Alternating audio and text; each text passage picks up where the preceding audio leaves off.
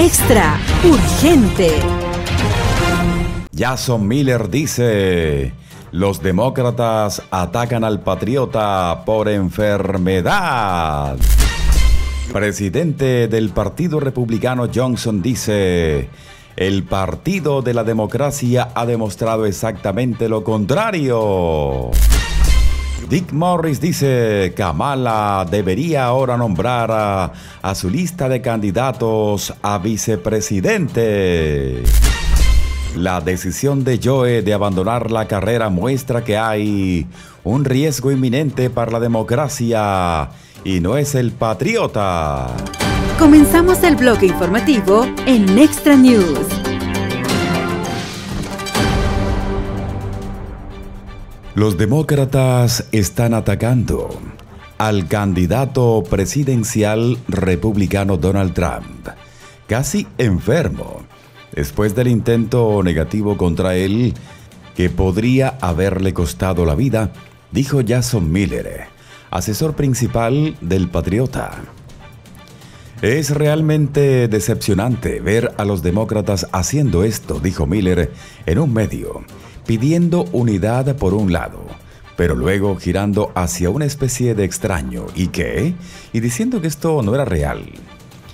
El doctor Anthony Fauci se ha referido a la oreja herida del patriota como una lesión superficial. Y Joy Reid, del medio MSNBC, intentó comparar el casi intento negativo contra la infección por COVID de Joe, dijo Miller. En este momento solo una persona en el país está liderando verdaderamente el esfuerzo por unirnos, y ese es el presidente patriota, dijo Miller. Lo vimos en su discurso en la convención y lo hemos visto en sus acciones desde entonces. Estados Unidos está demasiado dividido, añadió Miller. Y eso significa que debe haber alguien en la Casa Blanca que pueda volver a unirnos. Pero los demócratas están demasiado ocupados tratando de desviar la atención de las noticias sobre el caos que rodea la edad y la salud de Joe, dijo Miller, y dirigiendo sus ataques hacia el patriota. Miller también comentó sobre un informe del Post que decía que el servicio secreto rechazó las solicitudes del equipo de seguridad del Patriota para obtener recursos y personal adicionales, diciendo que es en esencia exacto. Tenemos que asegurarnos de proteger a nuestros líderes nacionales que se postulan para un cargo, dijo Miller. Lo que pasó el fin de semana pasado no puede volver a pasar. Por eso el informe de que al equipo del Patriota se le negó seguridad adicional es correcto, según el Post. Mientras tanto, el Patriota también ha prometido restaurar la paz en el mundo. Y Miller dijo que puede cumplirlo gracias a su fuerza. Lo importante que debemos tener en cuenta es que para que haya estabilidad en todo el mundo y para proteger la democracia en todo el mundo, tenemos que contar con una presidencia estadounidense fuerte, dijo Miller. Tengan en cuenta que cuando Joe realizó esa desastrosa retirada del país de Afga, ese fue el momento exacto en que Vladimir dijo, voy a ir al país de Ucrania, voy a poner en marcha el mecanismo porque Joe es muy débil. Las acciones agresivas contra Taiwán e Israel también ocurrieron debido a la debilidad de Joe, dijo Miller. Tenemos que hacer eh, que el patriota vuelva a poner fin a estos conflictos extranjeros, dijo Miller. El patriota fue capaz de hacerlo con la paz a través de la fuerza. Miren cómo logró que Corea del Norte detuviera sus pruebas. Esto lo ha hecho pues con mucha fuerza. Estos son eventos tan transformadores durante el primer mandato del presidente patriota que hay esperanza de que podamos recuperarlo. De otro lado, el presidente de la Cámara de Representantes, Mike Johnson, republicano por Luisiana, criticó la hipocresía de los demócratas que afirman ser el partido de la democracia y luego privan del derecho a elegir a 14 millones de votantes de las primarias demócratas en este ciclo electoral. En esta coyuntura sin precedentes en la historia estadounidense, debemos ser claros sobre lo que acaba de pasar, escribió Johnson en un comunicado después de que Joe publicara su carta con la que pone fin oficialmente a su campaña de reelección presidencial el día de ayer. El Partido Demócrata obligó al candidato demócrata a retirarse de la boleta electoral, poco más de 100 días antes de las elecciones al haber invalidado los votos de más de 14 millones de estadounidenses que eligieron a Joe como candidato demócrata a la presidencia, el autoproclamado Partido de la Democracia ha demostrado exactamente lo contrario. Johnson señaló que entregarle la posta a Kamala Harris, la zar fronteriza completamente inepta, no le haría ningún favor al Partido Demócrata frente al candidato presidencial republicano Donald Trump. Las eh, perspectivas del partido no son mejores ahora con Kamala Harris, que es copropietaria de los desastrosos fracasos políticos de la administración de Joe. Continuó la declaración de Johnson. Como segunda al mando y una zar fronteriza completamente inepta, Harris ha sido un cómplice alegre no solo en las destrucciones de la soberanía, la seguridad y la prosperidad estadounidenses, sino también en el mayor encubrimiento político en la historia de Estados Unidos. Ella sabe desde hace tiempo, como cualquiera, su incapacidad para servir. Johnson finalizó con una dura advertencia a sus rivales globales para que no se puedan aprovechar que el presidente saliente, un término político histórico, permanece en la Casa Blanca. Independientemente del caos en la actual Casa Blanca, nuestros no simpatizantes de todo el mundo deben recordar que el Congreso de Estados Unidos, el Ejército de Estados Unidos y el pueblo estadounidense están totalmente preparados y comprometidos a defender nuestros intereses tanto en el país como en el extranjero, concluyó la declaración de Johnson. Si Joe no está en condiciones de presentarse como candidato a la presidencia, no está en condiciones de ejercer como administrador del país, debe renunciar del cargo de inmediato. El 5 de noviembre no puede llegar lo suficientemente pronto. De otro lado, en declaraciones a un medio, poco después de que Joe anunciara que no buscaría la nominación de su partido y que apoyaría a Kamala Harris como candidata de su partido, el asesor de campaña del patriota Dick Morris sugirió que ahora es el momento de que Kamala Harris nombre a su compañero de fórmula mientras sea políticamente conveniente. Creo que Kamala Harris ahora tiene que nombrar un vicepresidente, dijo Morris. Eso le dará un enorme premio político para repartir y creo que si tiene medio cerebro, lo usaría para asegurarse la lealtad de partido.